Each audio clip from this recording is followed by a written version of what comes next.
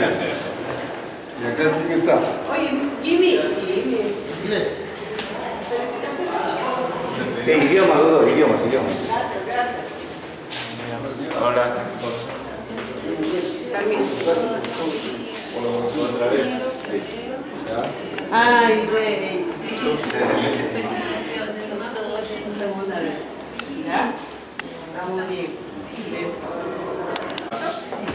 Nos complació, ¿ah? Felicitaciones.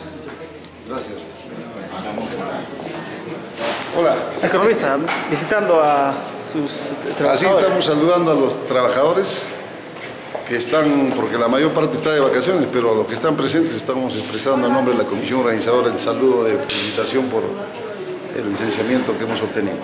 Economista, algo breve. ¿En qué va a beneficiar este licenciamiento de la Universidad Nacional de Moquegua?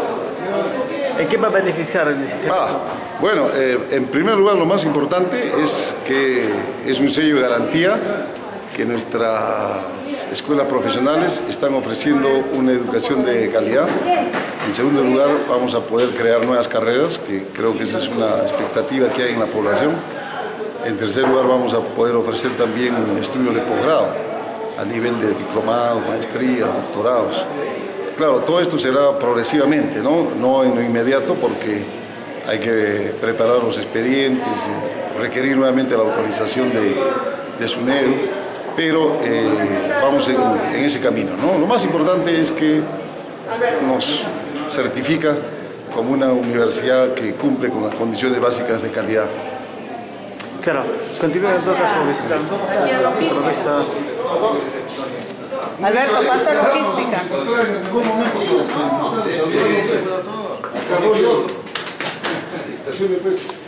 Bueno, estamos muy contentos todos, tanto por la, toda la comunidad universitaria como también por todo Moquegua, porque con esto nos va a permitir ser cada día mejor y cada año también, y bueno, y aperturar más cosas dentro de nuestra universidad. Pero esto es por seis años el licenciamiento. Es por seis años que nos da el licenciamiento, solo es por seis años.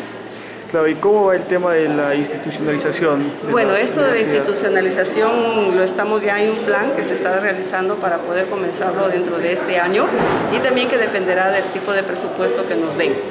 Y bueno, en el mes de a ver, marzo, por ejemplo, vamos a hacer una, un concurso nosotros también para docentes y en eso vamos a ir aumentando el número de docentes, tanto nombrados como contratados. ¿En qué estará eh, ayudando a la universidad este licenciamiento? ¿En qué va a ayudar a la universidad este licenciamiento de la SUNEDO? ¿La SUNEDO cómo va a ayudar? Bueno, ya nos ayudó dándonos pues este, este No, licenciamiento. sí, pero ¿de qué forma va a beneficiar?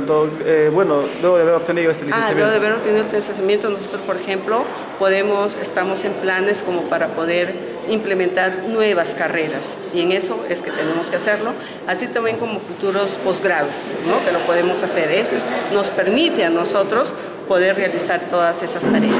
Pero en este momento se está visitando las diferentes áreas de la universidad, las oficinas.